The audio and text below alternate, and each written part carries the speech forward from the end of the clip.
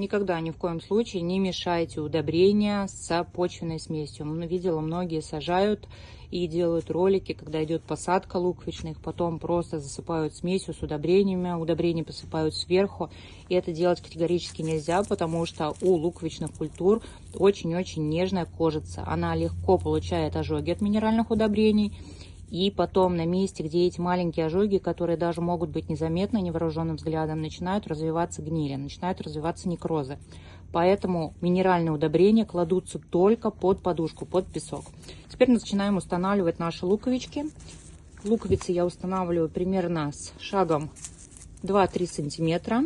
Можно выкладывать какие угодно узоры. Корзинки бывают круглые, квадратные. Можно использовать двойную посадку, то есть сажать тюльпаны, засыпать слоем земли, сверху сажать уже более мелкие луковички. Что касается глубины посадки луковичных. Луковичные сажаются на глубину трех величин от кончика до донышка. То есть посадка у нас должна быть на три высоты луковиц. То есть вот так. Обязательно учитывайте еще слой мульчи, который вы сверху положите. Поэтому не заглубляйте луковицы.